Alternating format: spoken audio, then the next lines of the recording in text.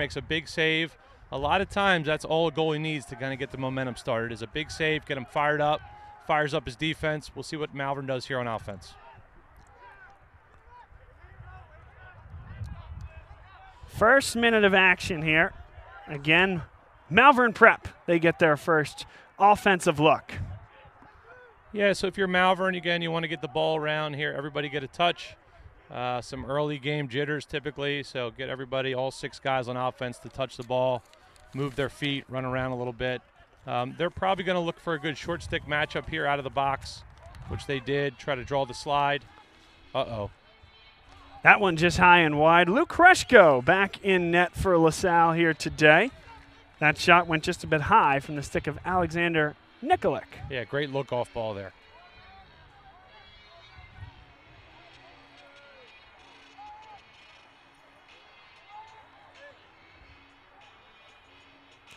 Right in front they go. That's a goal.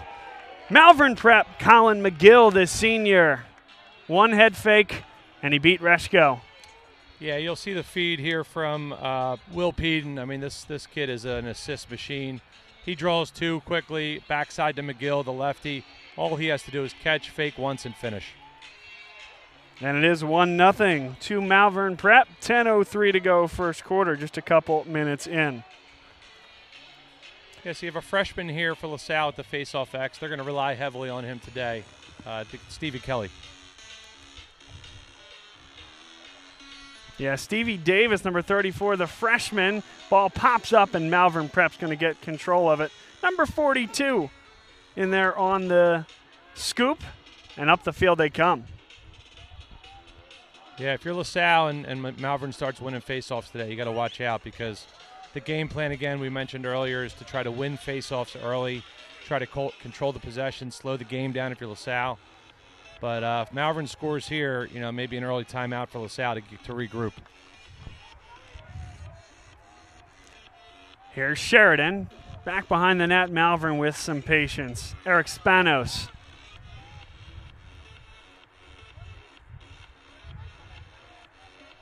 There's Peden drawing the double.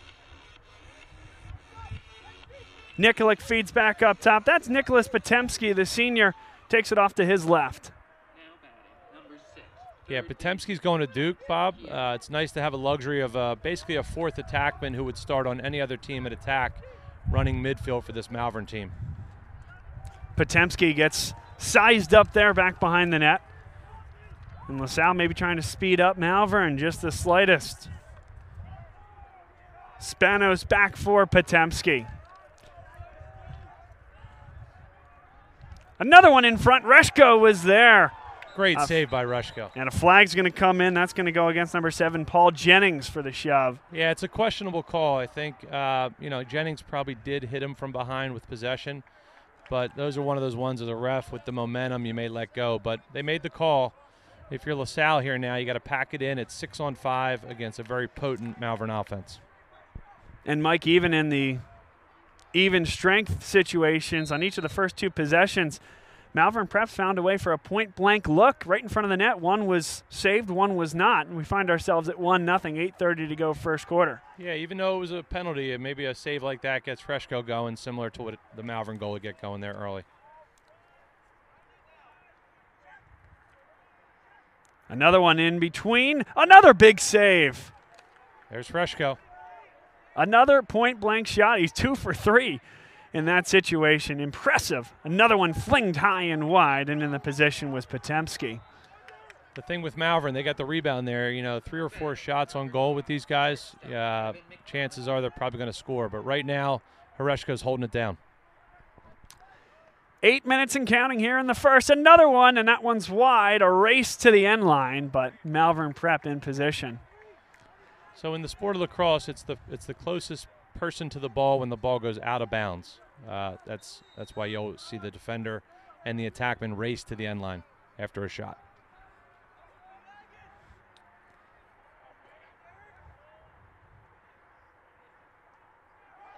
What a save. Reshko is on fire early on, but a giveaway. Reshko finds himself outside the net, quickly back in front. God, the sixth possession here by Malvern off of a off of a shot. And another great look there. He scores with the flag to boot at 729. You know, Horeshko can only do so much there. I think the kid made three saves. They missed the goal three times. That was their seventh shot on one possession. And again, we're going against a top five team in the country. Uh, they're going to score. So there was a penalty there. You'll see now we have a man down faceoff.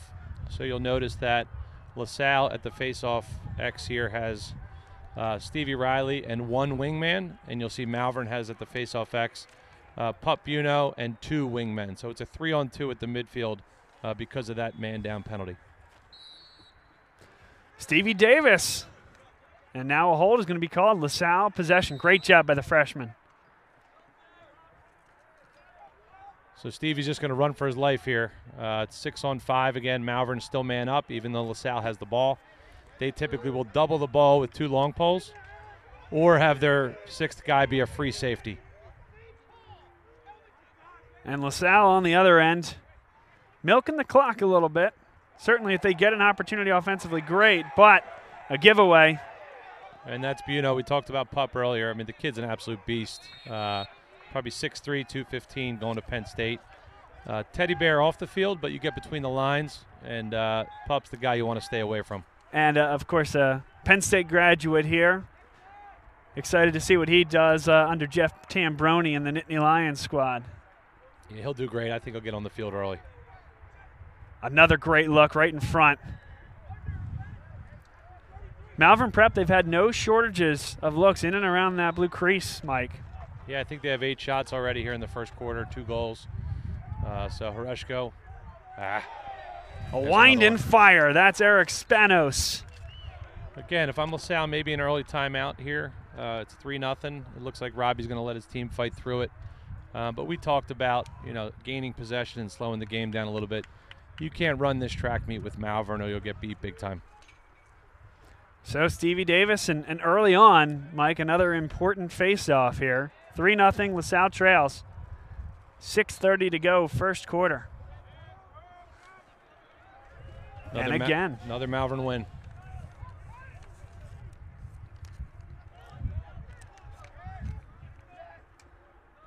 Wow, what a pickup that was by Andrew Kelly. Fantastic in traffic. A great look right in front. And a score. What a big time play by Andrew Kelly. He makes a tough ground ball in the middle of the field, gets his head up, sees Huntley down the field there. Two or three fakes, and Huntley finishes. Charlie Huntley gets the first goal of the afternoon for LaSalle, but Mike, you said it. It's all about that loose ball. And really a rare mistake from the Friars, an unforced error in the middle of the field. Yeah, they turned it over. You know, typically teams will clear it 90%. That may have been the 10% where they had a turnover. Kelly again picks up a tough ground ball, sticks his nose in there, head up quickly, gets his team a layup. 6-11 to play.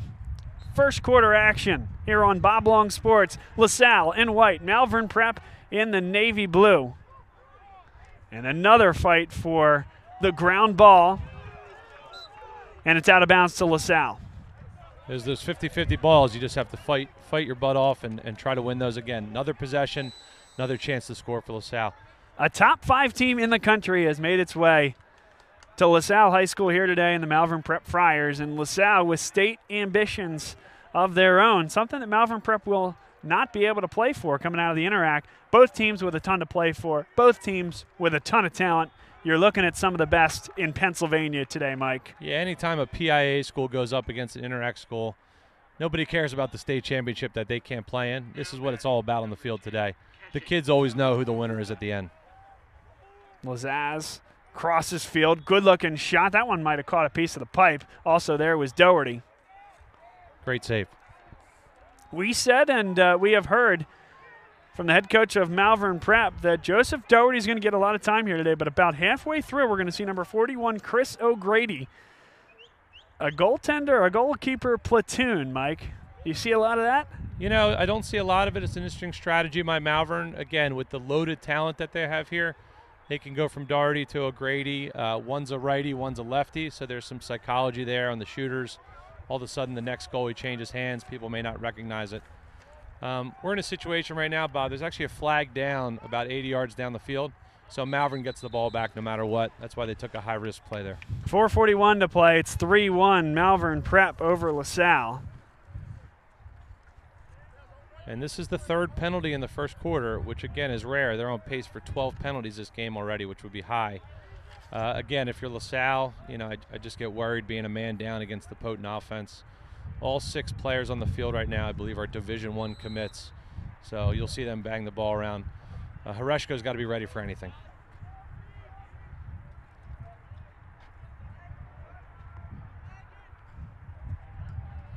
And another goal, Malvern Prep on fire early on. Will Peden, number 12. Yeah, Peden's typically known for the assist, and you see him step down from about 12 yards. If you're LaSalle, that's probably the shot you can live with. So a 12-yard shot from Peden versus a one-yard shot from somebody like McGill or Spanos. Uh, you hope the goalie makes the save there, so you can live with those. Four minutes, 29 seconds to play, and it's 4-1 Malvern Prep. Bob Long, Mike Morcell. Thanks everybody for being with us here today on Bob Long Sports. There's 4:29 to play in this first quarter.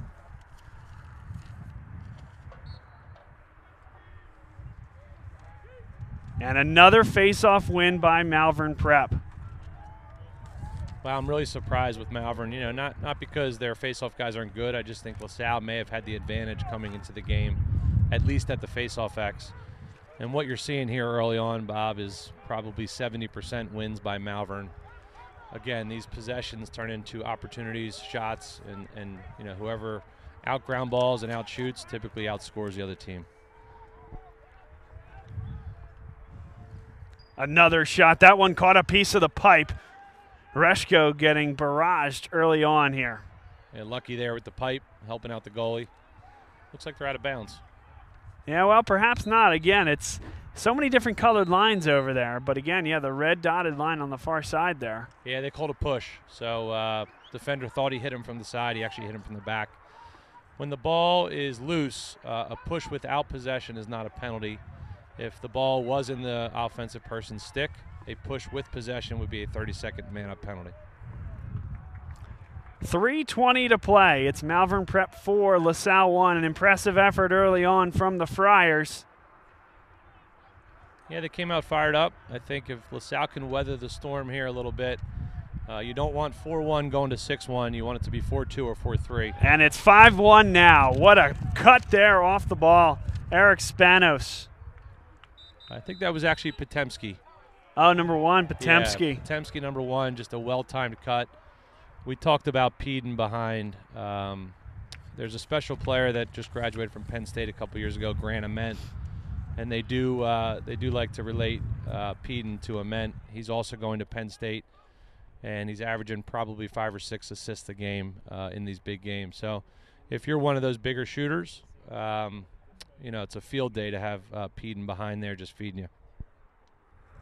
Timeout on the field. We'll be right back here on Bob Long Sports.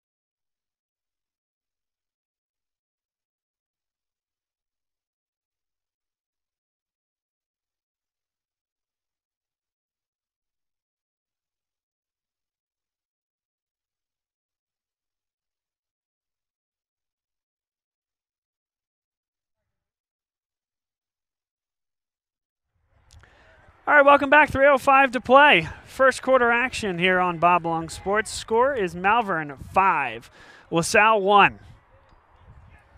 Yeah, there was that timeout. Uh, I knew Robbie was, was, was going to take one pretty quickly. He let it get to 5 1. I understand trying to let his younger players play through that. But here you have to try to stop the momentum, get a possession here for LaSalle. Rely on your senior Pilling there to pick it up.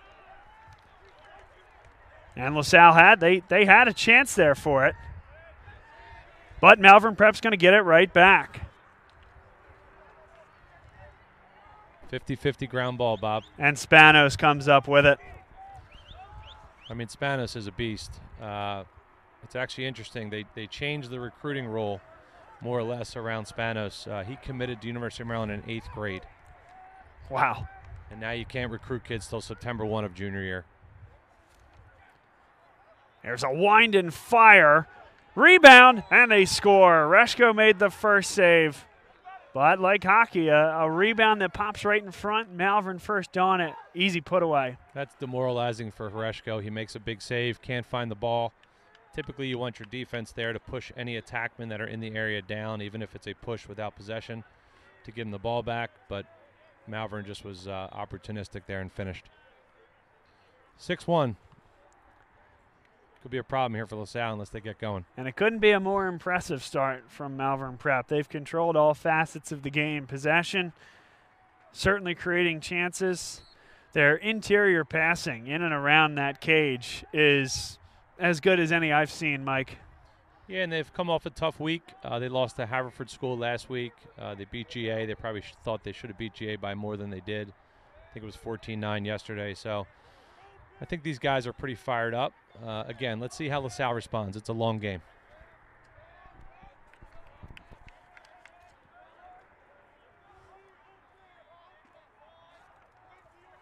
Lazaz gets a touch. Kelly with it now, who assisted on the only LaSalle goal thus far. This is where you look to your seniors for leadership. You know, who wants to take their guy to the goal, make something happen, maybe create a penalty, an assist, or even a goal. But this is where senior leadership kicks in. Fix tried to set the pick and said it's Kelly around the other side. Kelly deliberately.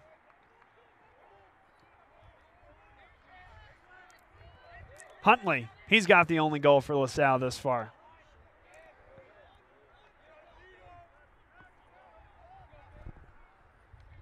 Here's Lazaz going against the pole. Buno, you probably want to move it there. Pilling also getting pulled, which means one of the attackmen has a short stick, and it's Huntley.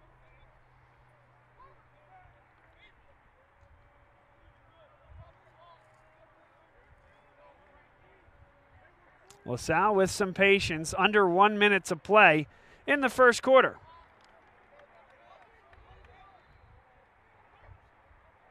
Well, LaSalle can't even penetrate these guys. That was Pilling, and now Kelly. Kelly, a wild shot. Flag came down.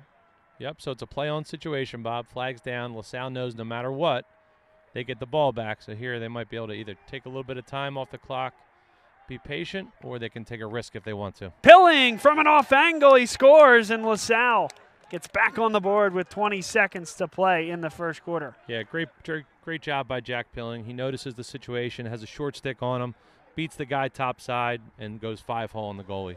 Very opportunistic.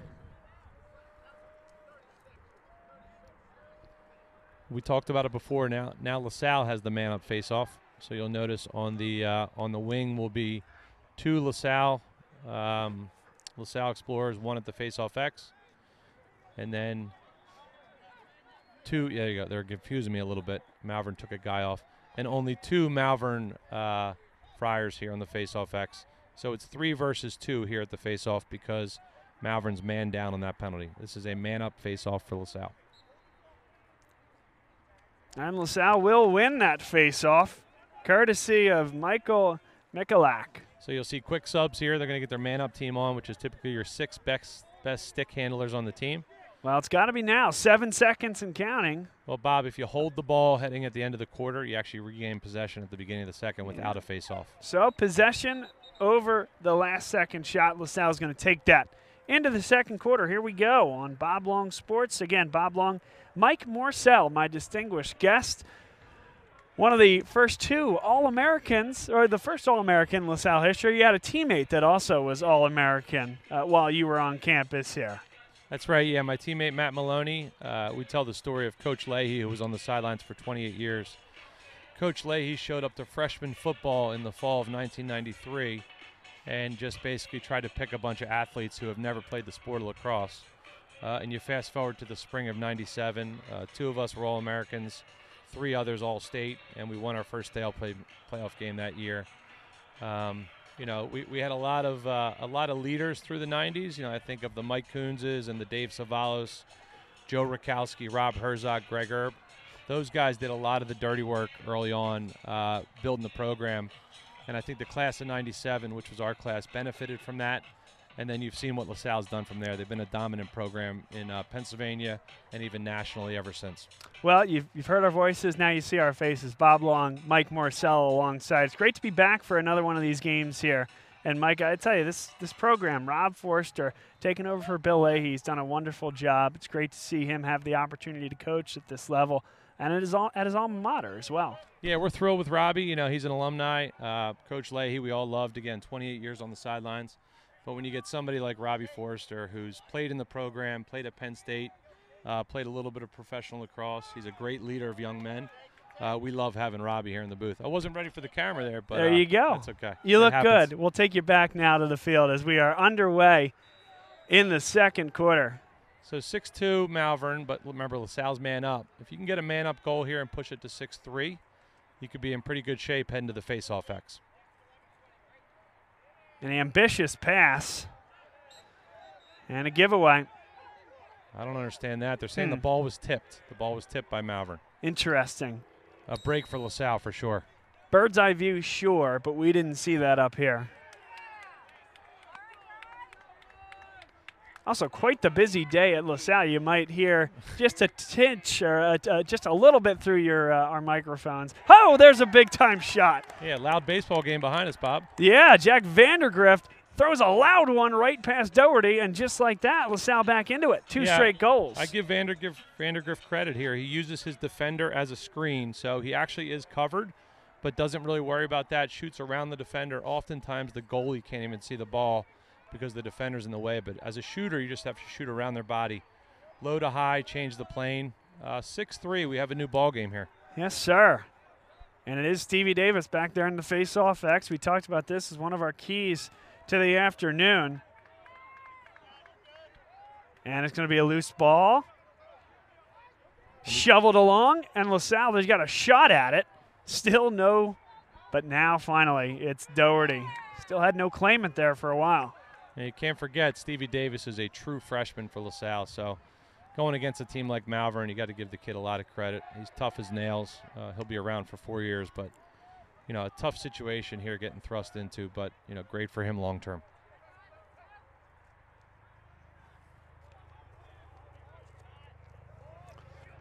And now Malvern Prep, they get their horses out there on the field. All the way through. Tough shot, save made there on the attempt from Jack Irish. And it is going to be LaSalle possession. Yeah, nice move there by Jack. Beats his short stick. Uh, great save by Horeshko, and then hustle by Jennings there. Now we have a helicopter over us, Bob. we got it all going on. Tell you, LaSalle is the uh, this is the place to be here. Not saying that uh, you're not going to catch another game, or we got a JV lacrosse or something going on down even in the field behind us here. So, yeah, there's a lot going on here. LaSalle trying to make a save, but instead it's another goal. Nicholas Potemski. How about the patience there, Mike, right in front of the net? Yeah, unfortunate on the turnover by LaSalle, but Spanos catches it, sees the defender slide upfield. One more, two fakes, and a finish. And an unselfish play there by Spanos. We mentioned him from Halford Prep. Yeah, he changed the recruiting rules, huh? Well, that's that's a new one. Yeah, you know, it wasn't his fault, but, you know, they used to recruit kids in eighth and ninth grade, and Spanos actually has the record for the earliest commit. So before he scored a high school goal, he had already committed to the University of Maryland. I just don't think it's right for kids, you know, from a psychology perspective. Spanos obviously fought through it great, but glad they changed the rule to September 1 of junior year. It's probably the best thing for the kids long term. 7 3 Malvern Prep early on in the second quarter. Lazaz spins into trouble, able to bring it back. Good interior passing, but LaSalle is electing to hold this up. 10 minutes to play, second quarter. Yeah, imagine being in, in eighth grade and knowing where you're going to college already, Bob. Just I think the work ethic may change. You know, Yeah. probably a little bit of an ego coming into high school. Again, no fault of the kids, but um, it was just it wasn't the right situation for a few years there, and they fixed it. A cross field pass. and a quirky little ground ball pickup. Huntley is on it. Yep, ground balls are like rebounds in basketball. You know, if somebody tells you they're not getting you the ball, go get a ground ball. Tomahawk there from Mason Lazaz. Yeah, Lazaz pretty unorthodox there. Keeps it in the right hand, even though he's on the left side of the field, and uh, just gets underneath his man with a face dodge and uh, a beautiful finish to the low right corner.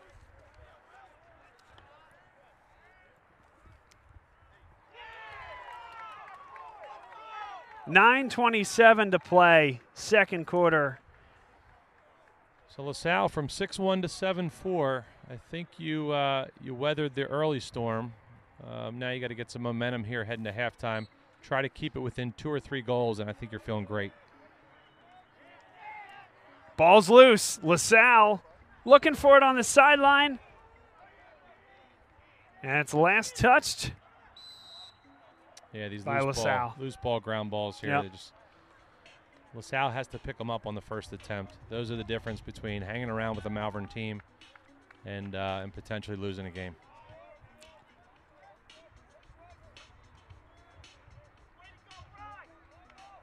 Another ground ball.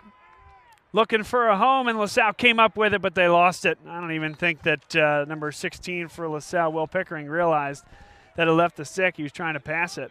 He So- did, but just an, again another hustle play by Malvern. It's all about extra possessions. 7 4. LaSalle certainly hanging here for as well as Malvern Prep has played. LaSalle is in this one. Oh, they're certainly in it, Bob. Again, it's a long game. It's a game of runs. You know, you see five or six goals being scored at a time per team. Um, the beauty of the face-off X is the ball is not guaranteed back. So if you're playing football, the other team will kick it off. If you're playing basketball, the other team throws it in. In lacrosse, it's a 50-50 ball every time the other team scores. Left fielder, Austin Cannon. Off angle shot, Malvern. They'll get another go at it. You see Spanos' size there. He's probably six foot four.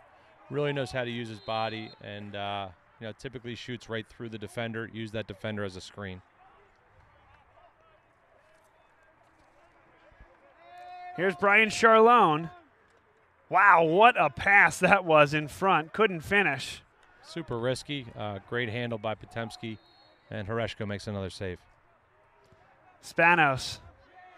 Looks like he wants to go at it himself. Instead, a good look, bouncing shot, and Malvern Prep on the board again. Colin McGill.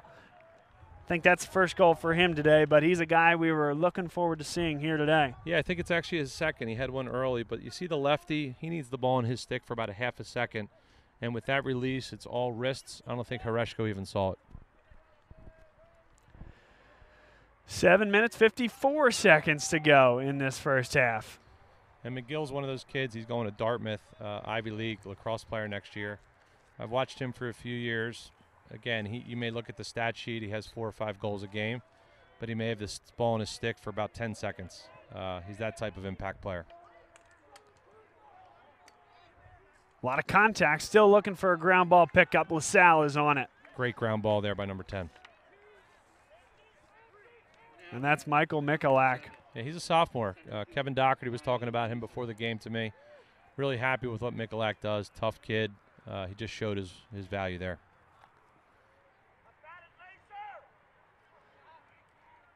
Ticking under seven minutes, 20 seconds to play. Your score Malvern 8, LaSalle 4, hanging with the number 5 team in the country.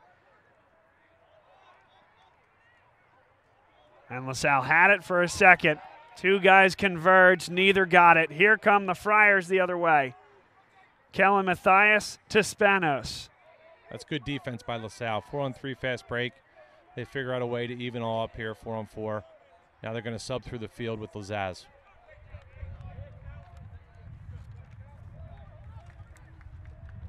Really good transition defense.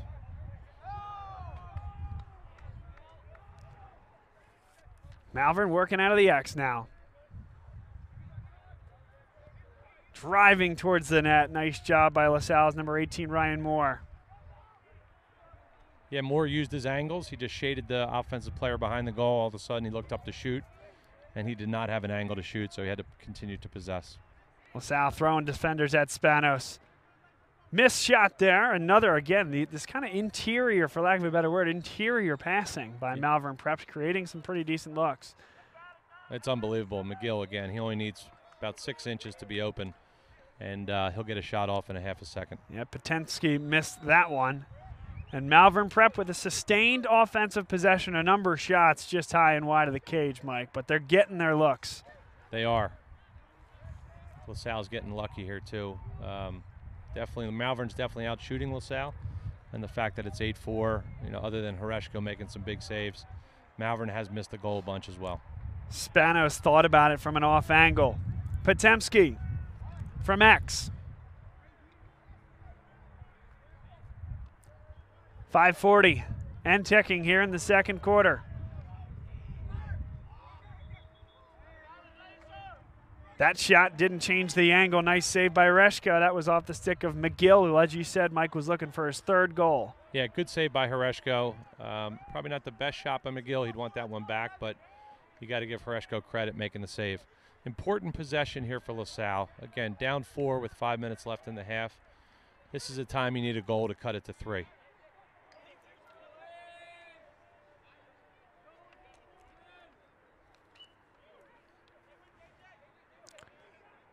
Up top, Tommy Vandergrift gets a touch. And LaSalle's going to get number 19, Tim Melman, onto the plus side of things, wearing the Travis Manion number 19. Earned that award as a senior. Lazaz, a shot and a save there by Doherty. Uh, if you're Coach Forrester, probably not the best shot. You know, you trust Lazaz because he's been around and played in big games, but it's almost a turnover when you shoot the ball to the goalie stick like that. Either change the plane or put it on the ground. And certainly not as much has been asked of Doherty in net here today for Malvern Prep, but he's made a couple of big saves like that one there. Like you said, didn't quite change the level, Mike. Pretty open slot for him to see it, but found its way into the webbing. 412 and ticking. Second quarter action here on Bob Long Sports. Bob Long on play by play. Mike Morcell, LaSalle legend of lacrosse and University of Maryland graduate, with me on the telecast. A wind and a fire finds the twine. Yeah, you'll see the assist again from Peden. Uh, he draws two guys, looks up top. Number 37 steps down, has plenty of time and space, steps into about eight yards, just rips it high to high. Horeshko had no chance. Joseph Sheridan, the junior, on the goal for Malvern Prep. It's 9 4 Friars. Again, these attackmen, they create so much attention, uh, you know, going to Duke, Maryland, Penn State, that the defense oftentimes sloughs down to try to help. And Peden's too smart. He just sees Sheridan step down, and that's an easy goal. Malvern Prep gets the possession right back. Here's the danger time, Mike. It is. Yeah, it's make it, take it. Uh, pick your poison here on defense. Uh, you know, you can only have four long poles. You probably have six college players on the field for Malvern. So if you're LaSalle, who do you who do you decide to short and who do you decide to pole? But uh, either way, you're probably at a disadvantage. We're under three minutes and 30 seconds to play here in the second quarter.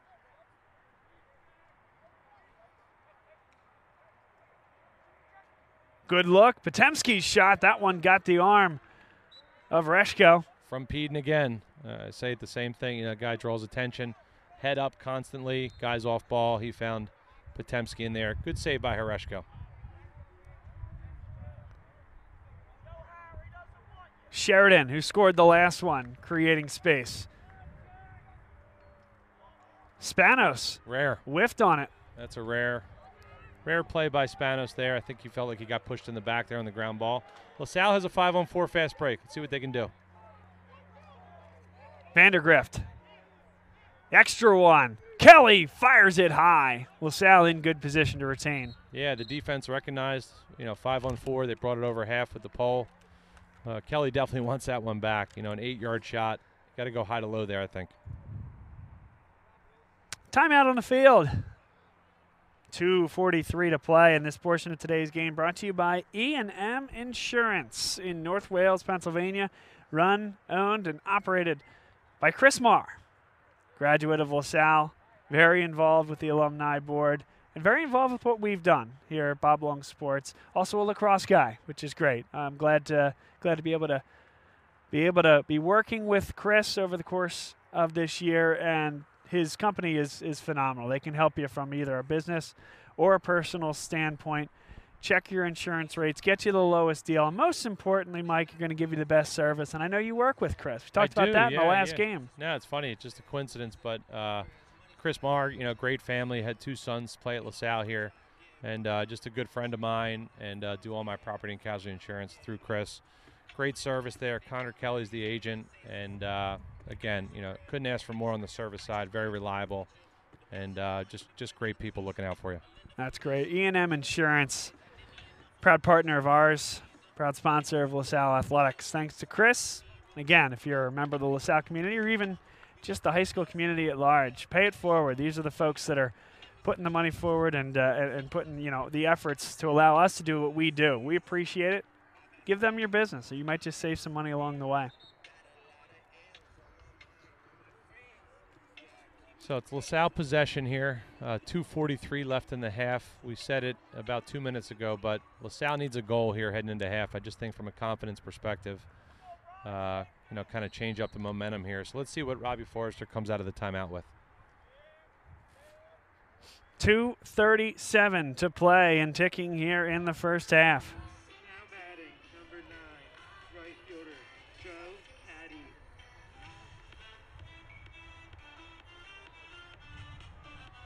Tell you what, I don't know if you can hear, folks, the uh, walk up music behind us, but again, the baseball field is right behind us.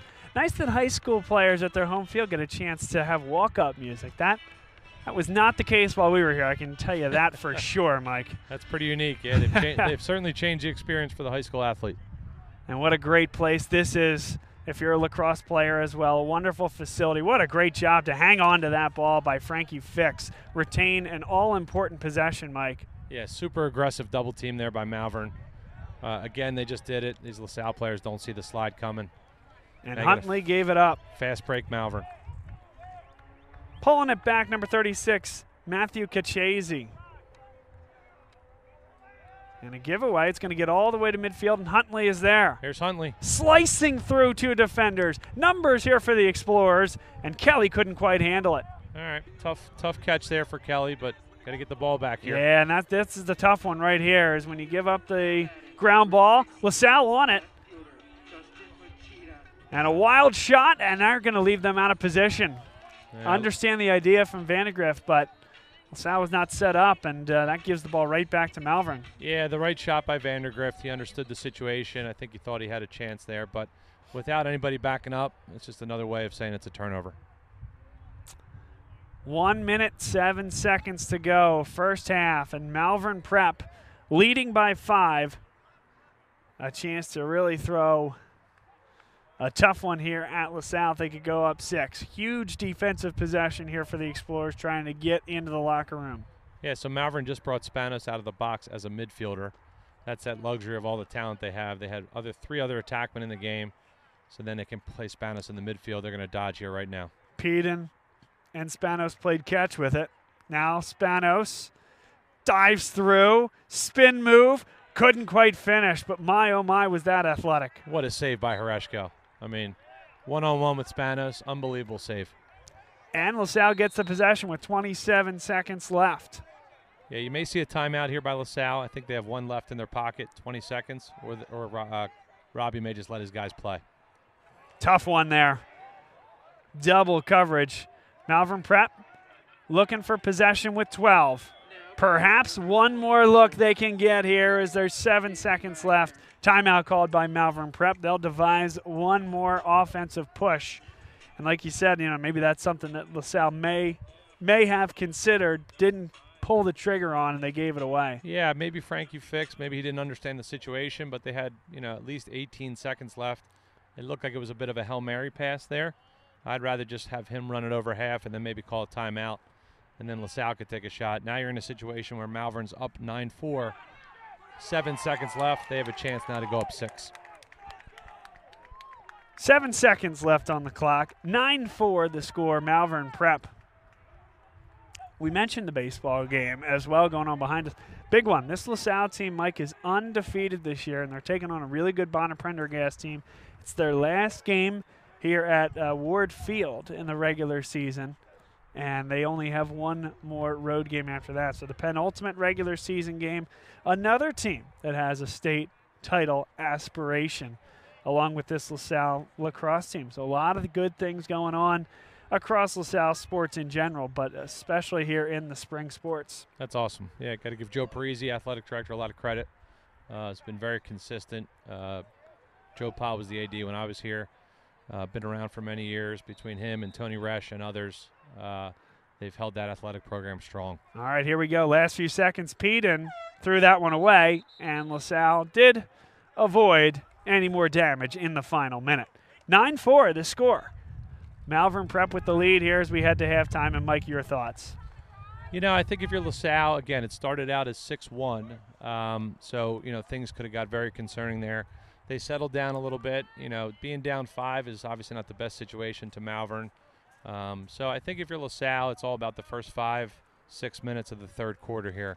If you can gain some early possessions and get a goal or two, uh, you're right back in it. Uh, if it swings the other way and becomes 10 or 11 for Malvern, midway through the third, um, you know, LaSalle's going to be in bad shape.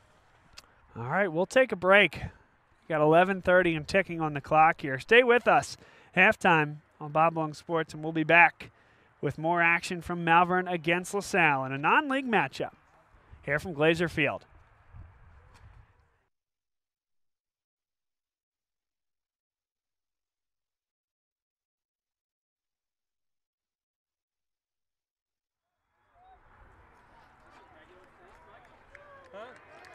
All right, folks, welcome back. Glazer Field, second half action here on Bob Long Sports. Bob Long and Mike Morcell on the broadcast for LaSalle College High School against Malvern Prep. The score LaSalle, four, trailing Malvern by five with the nine goals. Very impressive effort from this Friars team that is ranked number five in the country. Another face-off win by Malvern, Bob. And uh, again, if you're LaSalle, that's where you're hoping to win the game or at least try to control the game a little bit. And Malvern certainly over 50% at the face-off X.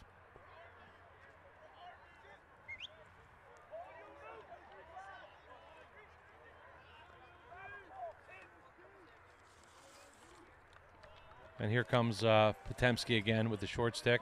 Potemski's been really good. Spanos back behind the net at X. They'll work it out to the side. Bouncing shot, and it's going to be Spanos in position to retain possession. So Potemski there knows that his job is just to draw a slide, which is essentially a double team, move the ball through X, and then you saw Spanos go to the backside there for an open shot. It's pretty simple offense uh, when you have these type of athletes.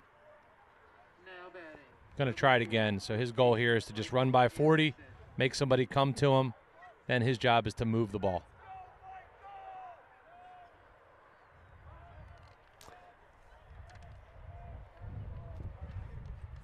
Over a minute into this one, and Mike, certainly this isn't Malvern's intent, but LaSalle also hasn't gotten a touch here. So controlling possession, but also this is a team that likes to run, like you said, and they're going to take the scoring opportunities when they arise. Yeah, it's probably a little early for them to hold the ball, but um, Coach McAvoy is a very smart coach. He's probably telling them it's not the worst thing in the world up five goals to get a long possession. And if it results in a goal, it's a bit of a backbreaker for LaSalle.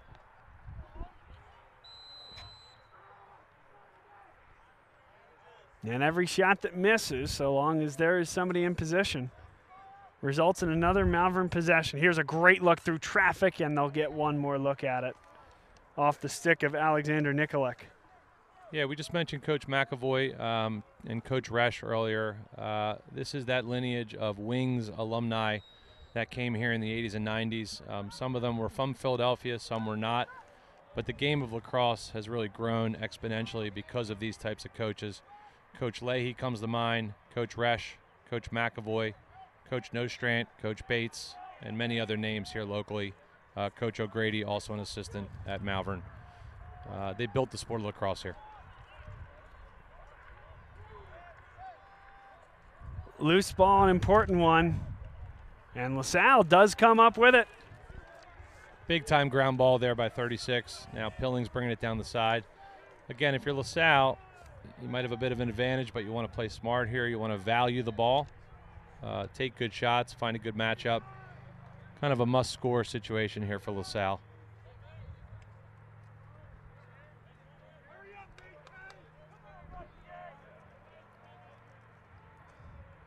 Here's Pilling with it, far side. 9.25 to play third quarter.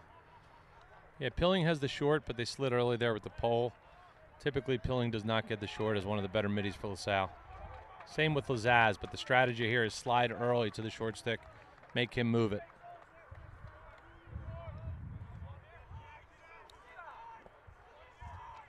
Frankie Fix. And it's Vandergrift at X.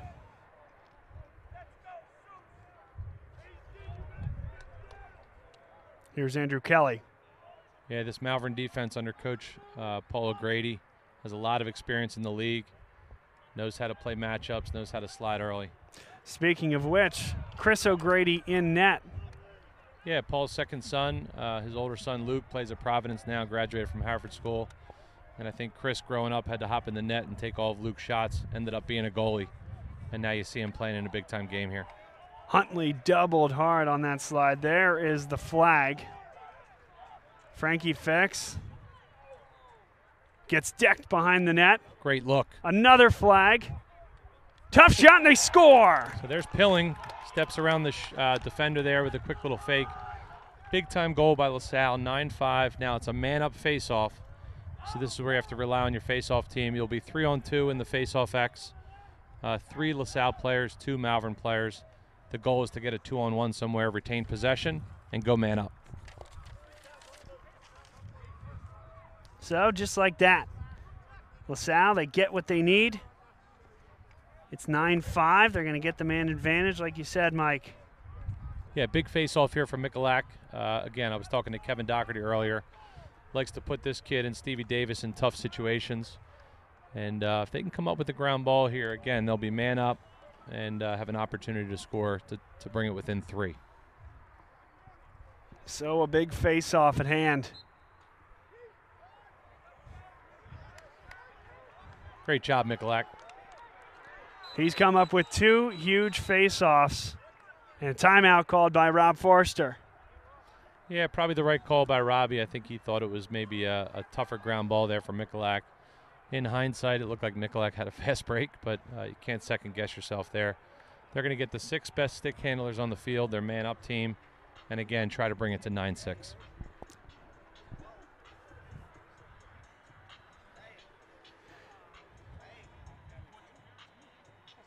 Portion of today's game brought to you by E&M Insurance in North Wales. Chris Marr does a great job with E&M Insurance, property and casualty insurance for either your business or your personal.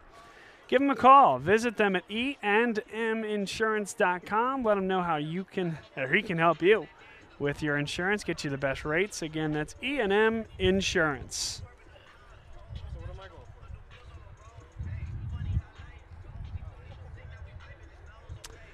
My partner, Mike Morcell, here today. Great to have you back, Mike.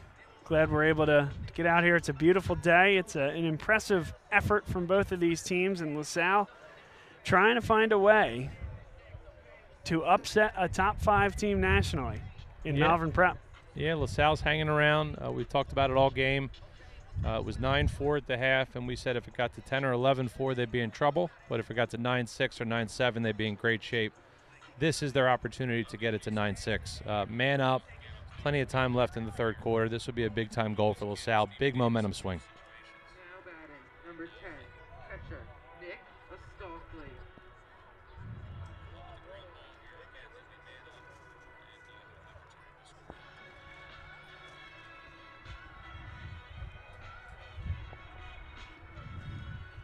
So LaSalle, they'll get possession right around the middle of the field, and it'll be Huntley to take it into the offensive zone.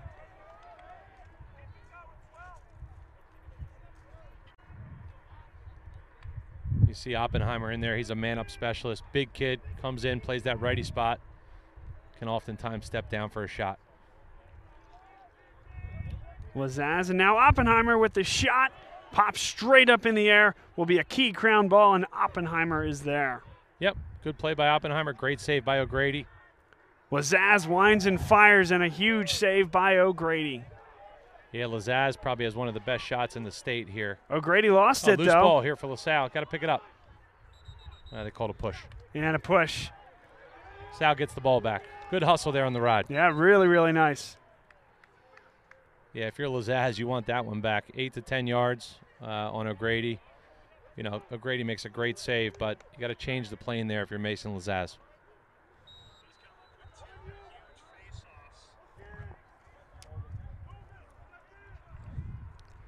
There he is, Oppenheimer, a man up. There's our guy. Just talked about a man-up specialist. You know, big, six foot five, an opposing presence there. Uh, steps into about seven yards. Perfect shot over the corner for O'Grady's shoulder. So we got ourselves a ball game here. 9 6. Yeah, it's just amazing the level of play here. You know, you have at this level in high school, you, 10 years ago, you would never have heard of a man up specialist. Then somebody like Oppenheimer comes in and gets a big goal to make it 9 6. Uh, it's just, you know, I, I respect Oppenheimer for playing his role. He probably wants to play a little bit more, but he's ready to go on the bench, sees the flag down, steps in, big time goal.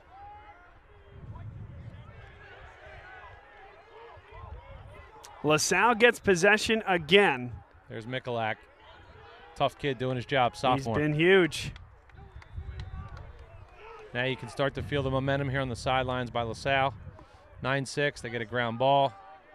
Find a good matchup here. Can they go 9 7?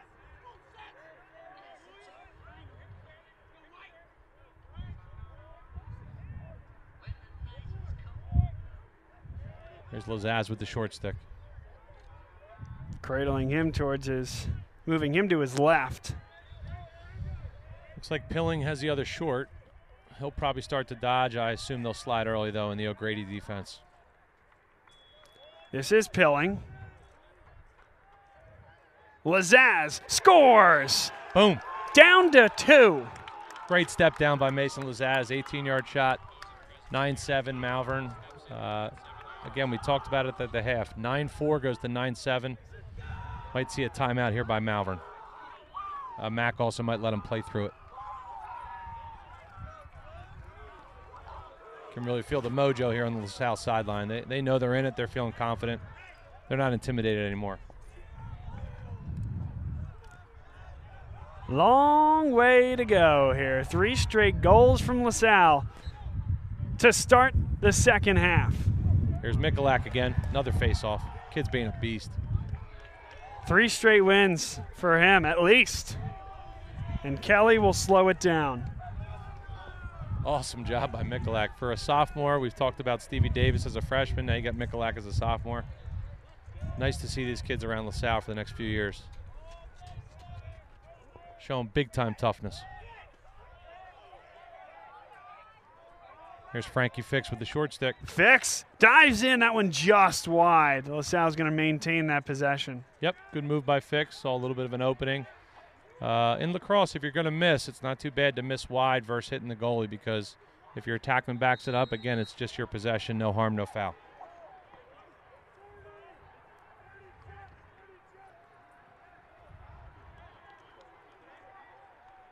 Here's Lazaz with the short stick.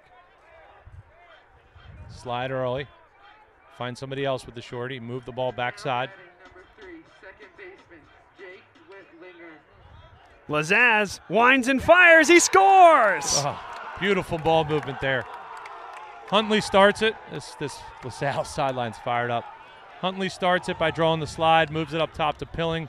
Pilling actually had a shot from about 15 yards. Goes one more to his teammate Lazaz from probably 10 yards. Very unselfish extra pass. 9-8, Bob. the number one, number five team in the country, and a, a set of rankings from from one to Kingdom Come. They are number five nationally. They had a five goal lead at half. LaSalle with four straight goals. They're down by one. Another face-off.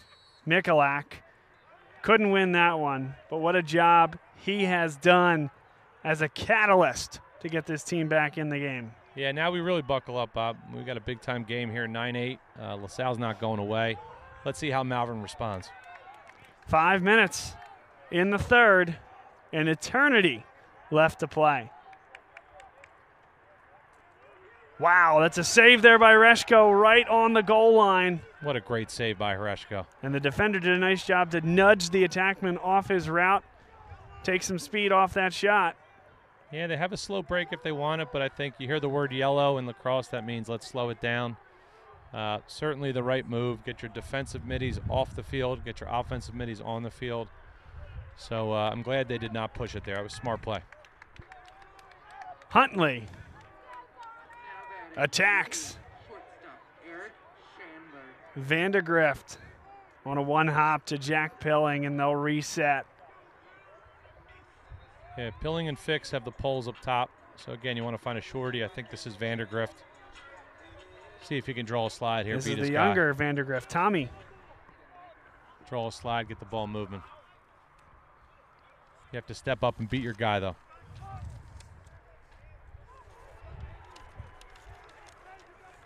Here's Huntley and Pilling. He's been at the center of a lot of the action here in the second half. Kelly at X.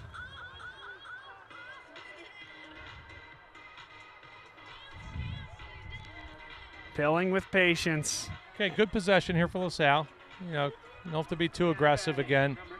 You got the score where you want it. You want to try to wear this defense down a little bit. Again, go after the short stick, draw a slide. Probably two passes for a shot. This is Jack Vandergrift now for Huntley.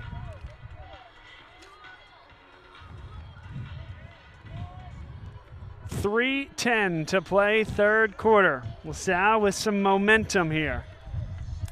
Making the defense work. Not trying to force anything at this point here, Mike. Yeah, so if they don't go to the goal soon, I don't think it'll happen right away, but the, the refs do have the opportunity to tell them to keep it in the box, which is essentially a shot clock uh, without having a shot clock. But doesn't seem like they're putting that on LaSalle yet. Huntley dives. Huntley scores! Wow. And a flag comes. We're tied at nine. Let's wait for the goal. Put the arms up, refs. Put the arms up. Give us a goal. Beautiful. That's a judgment call there, whether he was pushed or whether he fell into the crease. They agreed he was pushed. 9 9. Awesome play by Huntley. What a game. 2.38 to play, and Mike, it's a 5 0 run in the third quarter for this LaSalle Explorer team. I wish I could hear that halftime speech. Somebody, whether it was Tony Resch, Brian Harrington, Kevin Dock, or head coach Rob Forster, somebody fired them up. They came out from 9 4. Here we are, 9 9, eight minutes later.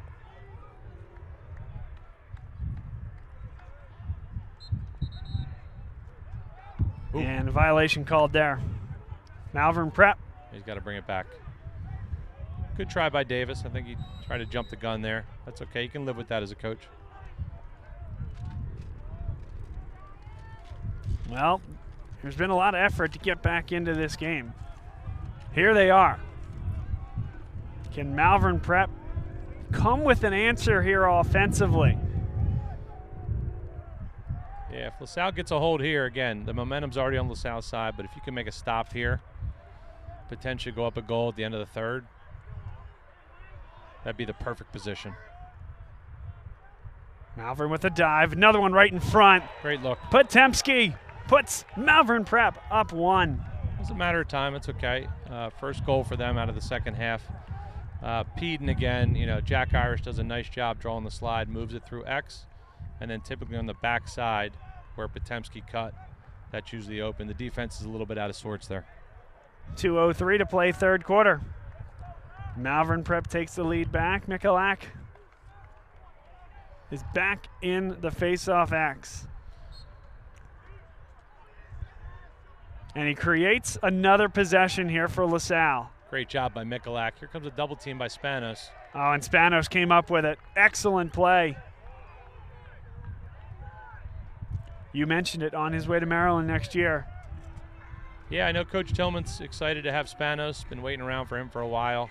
He just brings a big presence. I'm not sure if they'll have him play midfield or attack right away. But I would think with his stick skills, his athleticism, his toughness, you know, I believe there's a way for him to get on the field early on at Maryland. A buck 26 to play, third quarter. Ball's loose. LaSalle comes up with it.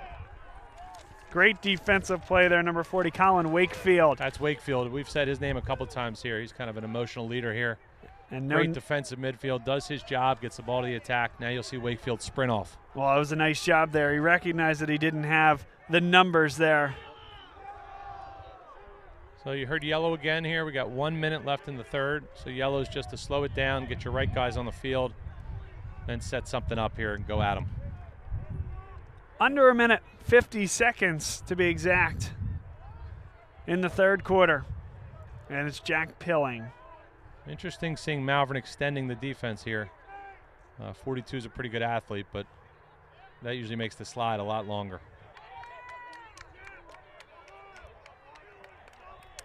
30 seconds left in the third quarter. Pilling will pull it back. Yep, Pilling's going to set him up. I think you'll see Malvern slide early again. Whoever decides to dodge. Here's Frankie Fix from the X. Got to push the corner now.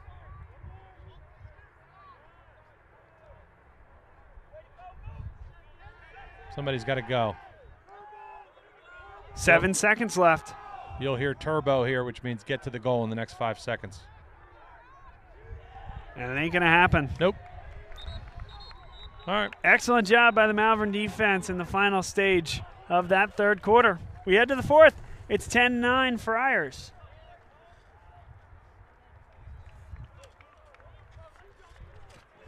Everything you could ask for, Mike, in this game.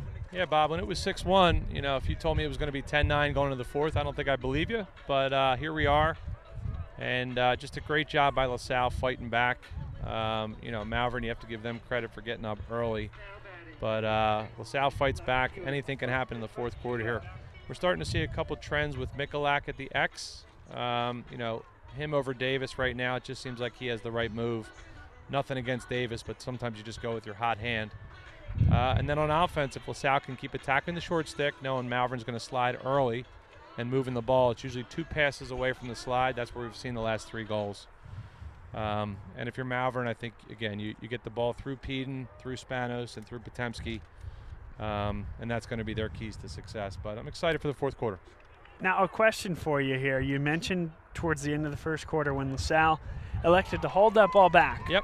recognizing that they were going to get possession to begin that second quarter. Uh, is that something that when they were going turbo turbo, right? Is that would that have been an option for them, or is that the situation now? No, the, the only reason that was an option in the first quarter is because LaSalle was man up. Right. So right. if, if you're man up, you are able to hold possession as the clock ends of the quarter and retain it heading into the next quarter.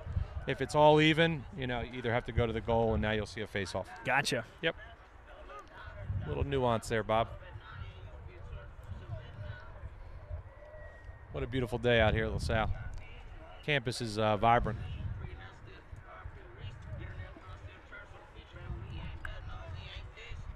All right, we head to the fourth and a good one. The number five team nationally against the LaSalle Explorers. One of, if not probably the best team in the Philadelphia Catholic League, certainly, and a team that has state aspirations at the PIAA level. It's as good as it gets here. And Mike, the other question I have for you, you talked a lot about some of the different coaches that have really shaped the game here in southeastern Pennsylvania. No doubt about it, this has become a hotbed what do you attribute that to? Is it really those coaches? Is it the sports acceptance? Or is it quite simply that there are just some phenomenal athletes here? And, and that's kind of what pervades the national lacrosse scene at the college level. Yeah, I think at the core, fundamentally, I, I do credit some of those early coaches. Uh, since then, the game of lacrosse has just grown exponentially. Um, so I kind of give credit to the growth of the game. But certainly the Tony Resches and the John McAvoys, and again, those guys I mentioned Leahy, Nostrand, uh, Bates, O'Grady, and others. Um, these are guys that have built the game. Tough break there for LaSalle. And Cooper Frankenheimer took advantage of it. Raced down the field, beat Horeshko, and it's 11 9 Malvern Prep. Yeah, actually, Davis won the face-off. Yes, had he the ball did. in his stick, but you got to give credit there to the Poles between Pup, Buno, and uh, and a couple other the the riding defensive poles there for Malvern. They won the ball back and a, a big momentum swing. Again, if you're LaSalle, you're not nervous yet, but uh, you had possession there, down one, and uh, quickly go down two.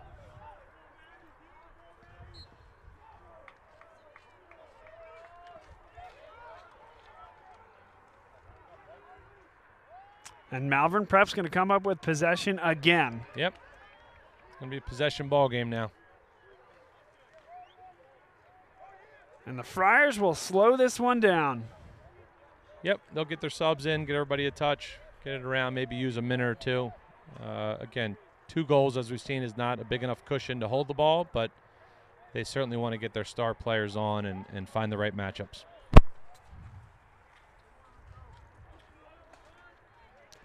Another shot. Reshko with the save. Beautiful save by Horeshko. Spanos wants that one back for sure. Can't give it away, though, guys. We just gave the ball back.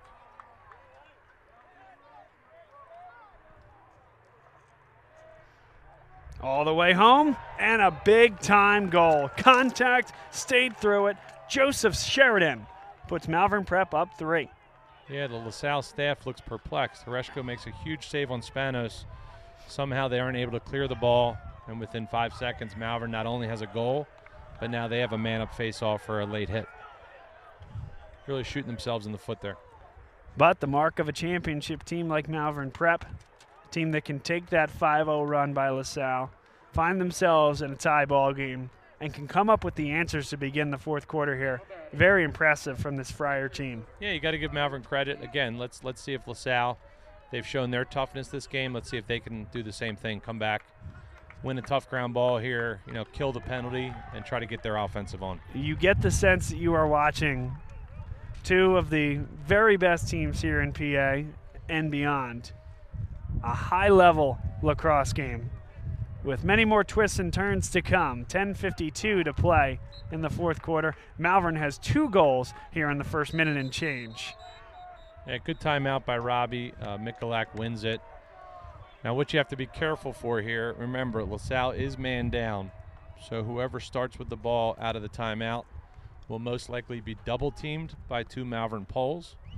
And then I would see the other defenseman from Malvern shutting off the other attackman and midfielder from LaSalle. The goal there is for a two on one, you know, two defensemen, one offensive guy. They're going to try to cause a turnover. Now, Robbie playing his own chess match may have an idea to maybe throw a nine iron to the corner and let, let somebody fight for the ball one on one. But be interesting to see how both of these teams come out of this timeout. LaSalle has possession, but they are man down. Fourth quarter action here on Bob Long Sports. It's Bob Long, Mike Morcell here for LaSalle Lacrosse as they take on Malvern Prep. We mentioned all the action going on at LaSalle. Another lacrosse game was just completing on the field behind, uh, or uh, further down the line here at uh, the Glazier, you know, Ward Field complex. And then right behind us, LaSalle baseball taking on Bonner Prendergast, scoring that one. LaSalle two, Bonner Prendy zero. Top of the fourth. Look at you, Bob, working both games. Do what we can. I can't give you any color in baseball. That, sorry. That's okay. I I can do that maybe with a little bit more knowledge than I than I can here. Though I I appreciate you bringing me along and, and try to use my working knowledge of the game here. It's it's great to be here. So let's see. LaSalle will probably have their best athletes start with it. And again, I mentioned a potential double team. Uh, so you have Huntley starting in the defensive end. You have three attackmen that are going to swarm him. And then two defensemen will probably come quickly. Everybody else will shut off since they're man up.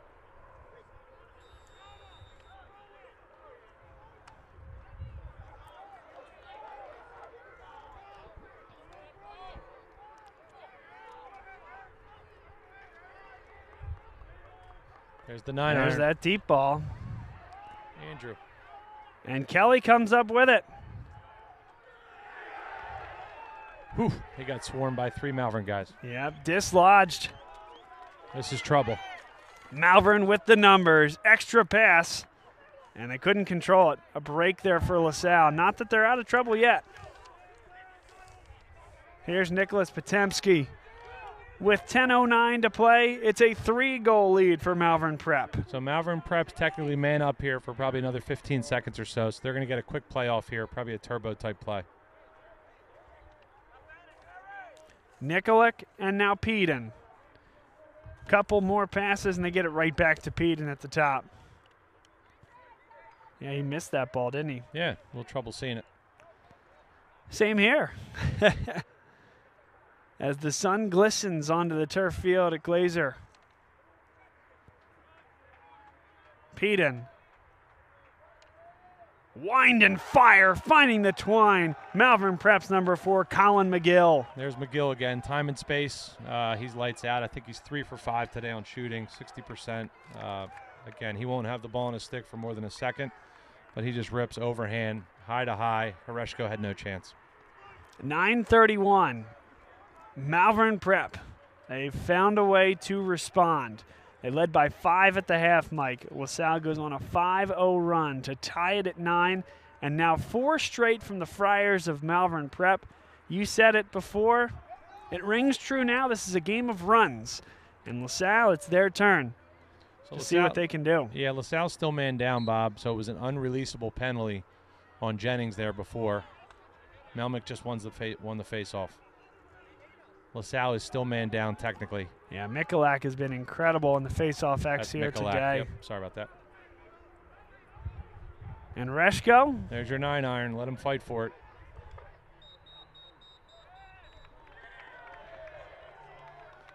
Uh, delay a game. They did not get the ball into the box in 10 seconds.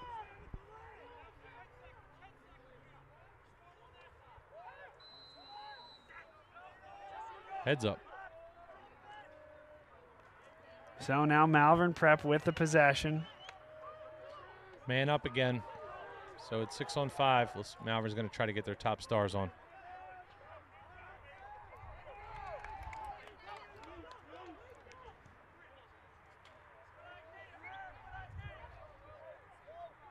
Okay, now we're all even. Six on six. Penalties over for LaSalle.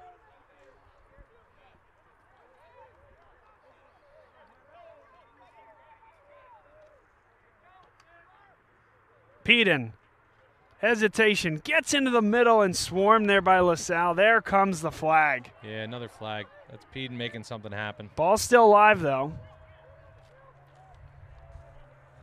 Now you really take the air out of the ball. If you're Malvern up four with eight minutes, you get the ball back no matter what. So now you may see them hold it a little bit, kill a little bit of clock. Peden and Nikolek play catch with it. You know, frustrating if you're LaSalle. You know, three penalties here in the fourth quarter. They go on a 3 0 run. Now they're going to get the ball back here. This is Tucker Millhouse with a touch. And Yeah. Spanos at X. Tucker's going to Villanova. His dad, Stowe, played there at Villanova. Nice lineage. Remember that flag still lies on the field. Malvern Prep will get it right back. And there's your whistle. There it is.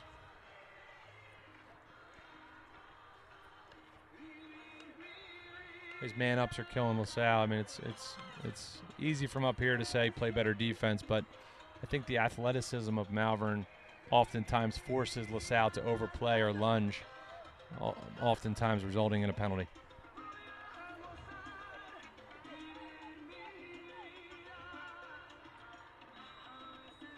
Millhouse will get it back into play. Man advantage here for Malvern Prep. Leading by four, 7.28 to play, fourth quarter.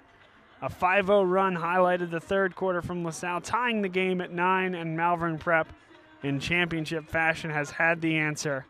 This, an absolute must stop, and a block. Possession rem- remains with Malvern Prep. One more right in front, and they score. What a cut to the front by Nicholas Potemski. There's Potemski and another flag on LaSalle for unsportsmanlike.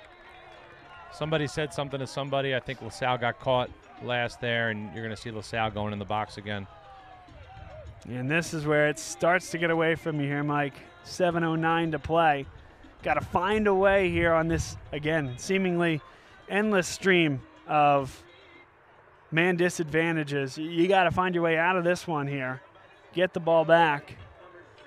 Yeah, it looks like either the I think the penalty might have been on Horeshko. Yeah, it looks that way. The backup goalie going in. Yep, that's James Guerin. All right, LaSalle, you know, not going to unravel here. They're going to show their toughness, hopefully show some character and integrity here, fight back. You're down five goals with seven minutes.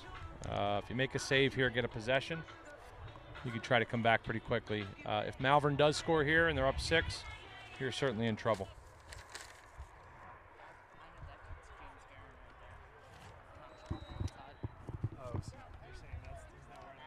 Yeah, that's not. That's not James Garrett. But that's James Garrett. I know that his So here's something for you. Something you can only get with a uh, with a, a student who's helping us out, which we appreciate. Apparently, that's not James Guerin in the net, although that unequivocally is James Guerin's number. So might add a jersey sh- swap, Mike. Okay. The unnamed number 24 in there at net for LaSalle. And he gets his uh, gets his net on one. Nicely done. Ooh. Good hustle. Interesting call there, right on the end line. Yeah, it's a judgment call by the ref. I think he made the right one, giving it back to LaSalle. But good house, good hustle by the Malvern attackman there. Yeah, the, so the ball was was heading towards the end line. Malvern player kind of ran past it. Doesn't matter now as Malvern Prep's going to get the ball right back. But the Malvern Prep sideline thought that they had gotten to that end line first, or at least gotten closest to the ball when the ball got past the end line. There's Buno making an impact again. Uh, 44 comes out of the box, rides Frankie Fix, takes the ball out of his stick, gets it to an attackman, and gets off. About halfway home here in the fourth quarter. Millhouse. Peden gets hit hard, somehow maintains possession. LaSalle does not like the call as the flag flies in. Yeah, I thought that one was a little ticky tack. Um, you know, typically don't argue with the refs, but it seems like it's 6-0 here in penalties on LaSalle. Um, four or five of them probably were penalties, but that one looked a little bit like a brush. A shot. I thought that. I think that caught the pipe. And wouldn't be surprised to see them put the parking brake on here, Mike. Yep, flags down, up five goals, five minutes to play. Coach McAvoy's been around the block too much. Uh, knows to take a little time off here. Here's Spanos. Fronted there by Frankie Fix. Great look into the middle. Some contact. They score, and another flag goes down. Three of them. Yeah, Spanos got a short stick behind, and that's a lethal matchup for LaSalle. Uh, Frankie Fix did his best, but uh, Spanos shook him, found the offensive guy for the goal, and uh, it was a hold across the neck there, uh, LaSalle by the uh, by the LaSalle defenseman. 15 to 9. Maybe two. Uh, they're giving us all even, so the penalty is wiped out with the goal because it was a 30-second penalty. If it were a slash or a one-minute penalty, it would be a man-up face-off for Malvern, but since it was only a hold, there is no penalty.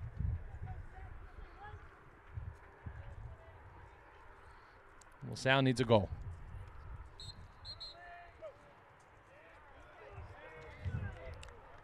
So that's now six straight goals from Malvern Prep after the game was tied at nine. Yep. LaSalle went on a 5 0 run to start the second half. Yeah, the game of lacrosse, you know, you can never get too high, and never get too low because, again, we said it earlier, it's a game of runs. Teams can score five or six goals in a matter of four minutes uh, because of the face-off acts and the make it take it opportunities. And LaSalle defensively trying to find a way to not only get a stop, but get possession. They'll start with a quick save, but a big time finish. Yeah, I think that's McGill's uh, McGill again. probably his fifth goal of the game. We said it earlier. He's a smooth lefty, gets a little bit of garbage in there, uh, just turns and sticks it up high.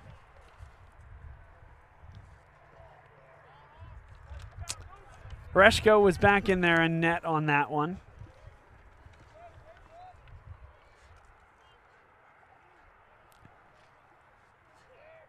And the number five team in the country, Mike, showing you exactly why here. Yeah, they are, Bob, taking the wind out of the sails a little bit. Uh, a little demoralizing if you're a LaSalle fan or LaSalle player. Um, but again, I think you have to give Malvern credit. They're a loaded team this year, uh, 15 Division One commits, and by the looks of this, potentially could be this final score, uh, probably what we predicted. But uh, it's not over yet. LaSalle's going to keep fighting.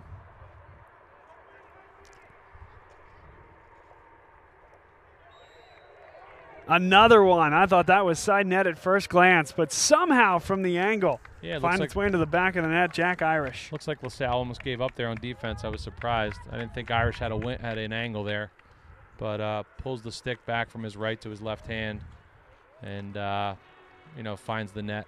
We said this last time. A mom goal that that that felt like a mom goal, but you know what? Somehow, at, from an almost impossible angle, he found his way home. It did look like the mom goal when the ball goes on the outside of the net, and all of our moms cheer. But That was an actual goal. That's right. So uh, well done by Irish. In honor of Mother's Day, of course. always right. Mom's always right. like to see LaSalle get a ground ball here in a good possession. Nice job by Pilling. All right, Pilling now. Let's see what LaSalle can do offensively. Under four minutes to go. It's an eight goal deficit in favor of these Malvern Prep Friars. 15 D1 players. It's been well documented there. The Inter-Ac, arguably the best league year over year in the state of Pennsylvania. Lazaz lines up and hits it. There you go, Lazaz showing a little bit of fight. Get us to 17 10. And uh, go back to the face-off X here with Davis. See if you can do it again. Uh, nice to see that nice step down. Uh, probably 12-yard shot by Lazaz.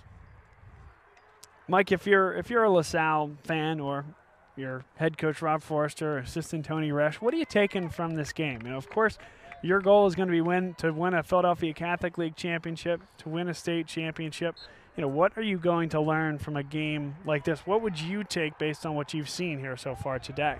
Yeah, well, knowing the youth that LaSalle has brought to the field here, we've talked about, you know, face-off guys are sophomores. One's a freshman. Uh, there's another junior and sophomore on attack. Um, Malvern most, you know, mostly as a senior Latin team. You know, big, strong kids here. We talked about 15 D1 commits. So I'm not a big fan of moral victories, but um, for the youth here for LaSalle and, and as they head into the state playoffs, which the Inter-Ac does not compete for, I think you have to feel good about the effort. You certainly have to feel good about being down 6 1, tying the game 9 9. So there's a lot to learn from here and a lot to grow upon. Under three minutes to go in this one. Malvern's emptying the bench a little bit. It looks like letting some guys play that, you know, bust their butt in practice every day. They want a chance to score. There's McGill again. And McGill, he gets plenty of chances to score, but he gets that one there, makes it 18 10 Malvern. yeah, McGill sixth. Uh, again, the kid doesn't have the ball in his stick long, but he knows where to be at the right time, and he catches and finishes. He's coming out of the game now, and uh, he's going on to Dartmouth next year to, to uh, compete in the Ivy League, and you'll see his name for the next four years. I think just putting goals in the net. And good for him. And Really, in these, especially in the sport of lacrosse, some of the highest level teams are also high academic schools. And They he's going to have the opportunity to get a wonderful education at Dartmouth, which is, you know, again, uh, just as, if not more important, certainly, than, than what he's going to do on the lacrosse field. That's wonderful. Yeah, there's a big myth out there that, that people in youth lacrosse think their son can get a full scholarship for lacrosse. Uh, they basically don't exist. Um, there's about 12 and a half scholarships for a fully funded Division One team. That goes across 45 guys. Um, maybe one will get a full ride, but even then, it's rare. Mostly, it's spread out amongst the team. So, to your point, if you can use the sport of lacrosse as a vehicle to maybe get into a school you wouldn't normally get into, better academic school than you'd be used to because you could play lacrosse there. That seems like you know what most of these uh, most of these kids look for. 206 to play. Stoppage on the field. A flag came down. It's going to be LaSalle possession. Delay of game was the call. There's two flags. I think there's a delay game and a hold. Uh, Malvern called a timeout, uh, so I think there'll be uh, six on four LaSalle when we come back.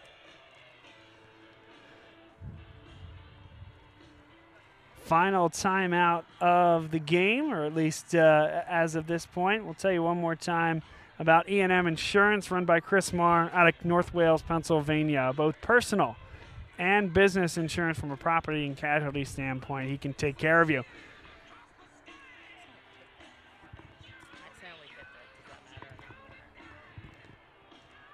Chris is a wonderful partner of ours here at Bob Long Sports. We're happy to have him. And if you are a LaSalle fan or just a lacrosse fan in general, pay it forward. They allow uh, us to do things like this here. We, they support the kids. So pay it forward and give them a, an opportunity to save you some money and wow you with their customer service. That's E&M Insurance, E-A-N-D-M Insurance.com. And go visit them. So uh, six on four LaSalle. We mentioned it before the break. Um, what you want to do here, if you're Malvern, you want to get in a box. So basically just a box formation and stay tight. And if you're LaSalle, you want to be very patient. I mean, not too patient because of the score, but you certainly want to get a layup versus a jump shot uh, in a basketball analogy.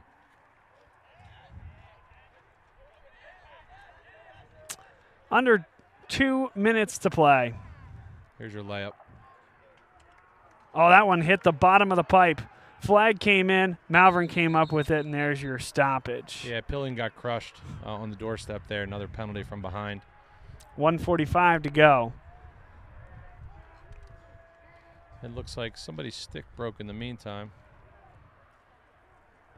Coming off the field. Yeah, if you're pilling there, uh, it's a tough finish, uh, but that's one you need. Uh, he did draw the penalty, so now we're looking at six on three. Pretty rare. You'll see the defense in a triangle, just kind of you know hoping for the best. LaSalle should absolutely capitalize here in the next 15 seconds.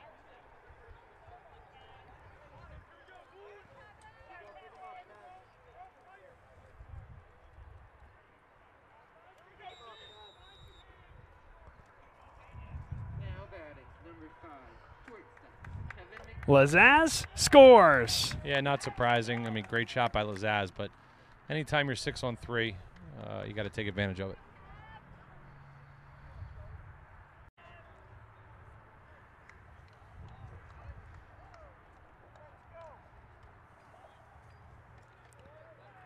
So a buck 38 to go. LaSalle hanging in there. They're, uh, you know, certainly they're going to come up short here in this one, but happy to see them fighting all the way to the end. And we talked about these learning lessons for this team.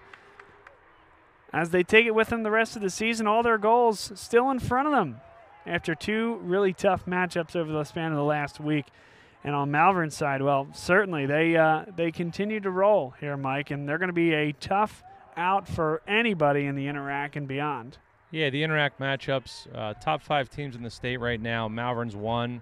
I think Episcopal and Haverford are probably a close two and three. I think Radnor is four and LaSalle's five. So we're looking at two of the top five teams in the state. Um, so, and uh, three of those teams are in the Inter-Ac, which are unable to compete for the state championship. So I see, I think down the road, hopefully, Bob, you and I can do a game in the state playoffs where maybe LaSalle will see somebody like a Conestoga, Radnor, Garnet Valley, or others, um, but not the Inter-Ac teams. Would love to do that. That would be exciting to see. 39 seconds left here in this one. Malvern Prep, of course, in no hurry. Actually, had some friends ask me if, if uh, there was a line in this game, what would it be? I said it would be six. So the fact that uh, Malvern's winning by seven at the end of the day, close, Bob, but I, I just missed it.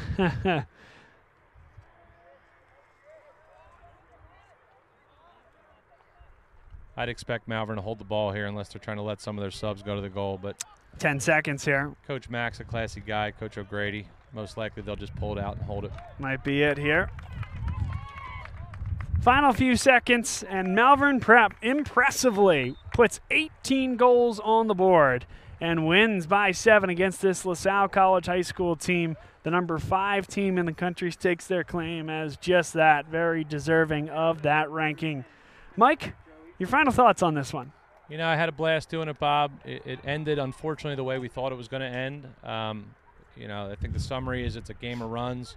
LaSalle, LaSalle showed a bunch of toughness there with their youth, but uh, ultimately the Malvern, you know, athleticism of some of their seniors is really what took over. Final score Malvern 18, LaSalle 11. Thanks for being here with us. Mike Morcell on color commentary. I'm Bob Long. We'll get this up on the replay as well as quickly as we can. Thanks everybody for being with us. And we'll see you on another LaSalle College High School sporting event broadcast real soon.